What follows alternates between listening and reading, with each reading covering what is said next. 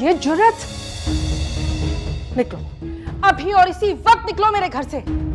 हमने तुम्हें सिर्फ़ अदन की वजह से बर्दाश्त किया था और तुमने अपनी औकात दिखाई है। तुम्हारी हिम्मत कैसे हुई शीरीन पर हाथ उठाने की? जब जबानें बेकाबू हो जाए तो हाथ उठ जाते हैं। मैं कह रही हूँ कि निकलो। अभी और इसी वक्त निकल जाओ मेरे घर से। मैं इस घर से कहीं नहीं जाने वाली। मैं अदन की मर्ज़ी से इस घर में आई हूँ और अदन की मर्ज़ी से इस घर से जाऊँगी।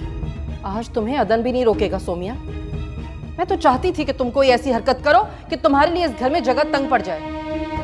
और फाइनली तुमने ऐसा कर दिया। जब जाने की जल्दी हो तो इंसान ऐसी हरकतें करता है खाला। सुना नहीं तुमने? निकल जाओ मेरे घर से। मुझे आप धक्के देके भी इस घर से निकालेंगी तो मैं अदन की मर्ज़ी के बगैर कहीं नहीं जाऊँगी। खाला फ़िक्र ना करें। इसकी ये ख्वाहिश भी बहुत जल्द पूरी हो जाएगी। अदन इसे खुद घर से निकालेंगे।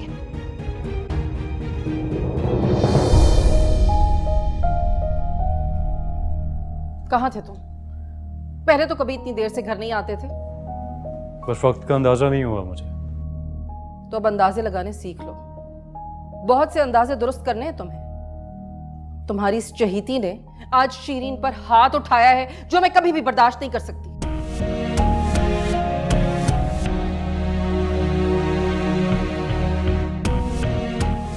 छोड़े ना खाला। सोमिया को गलत फहमी हो गई थी।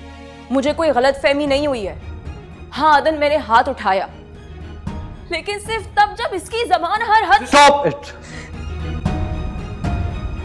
आपने शीरी पे हाथ उठाया?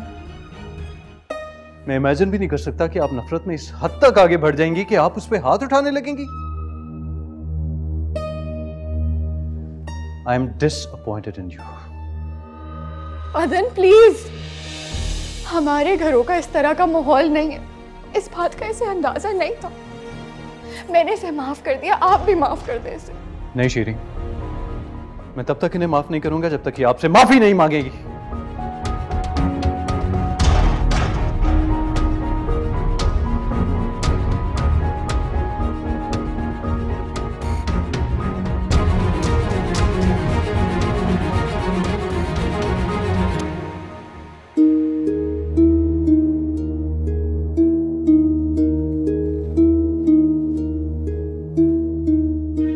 कहा था ना कि जान छुड़ा लो उस लड़की से।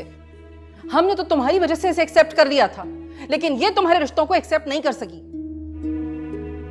मोहब्बत का खुमार उतर गया हो ना तो कुछ दे दिलाकर फारिग करो इसे।